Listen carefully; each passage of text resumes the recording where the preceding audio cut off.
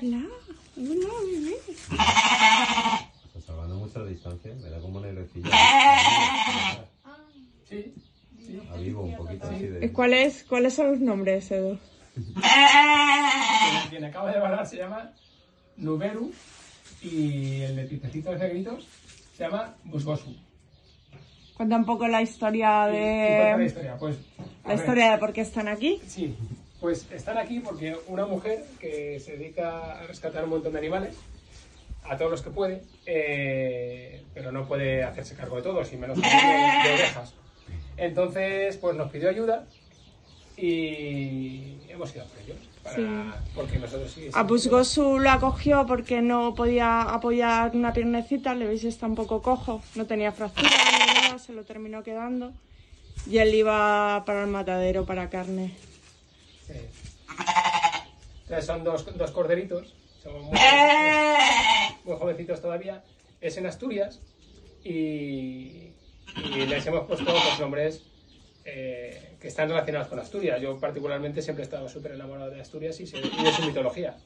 Entonces hay dos personajes mitológicos que son que me encantan, que son eh, Nuberu y, y el Busgosu. Ya conoces su nombre.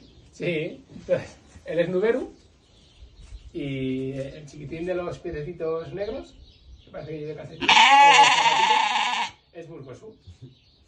Acaban de llegar, están un poco nerviosos, se han pegado un buen viaje, porque para nosotros han sido 10 horas, para ellos han sido 5.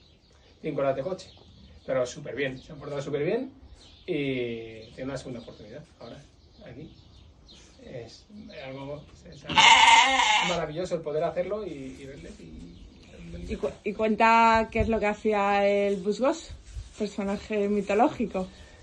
Como lo has contado a mí antes. El, el Burgosu es como una especie de ente protector de- del bosque.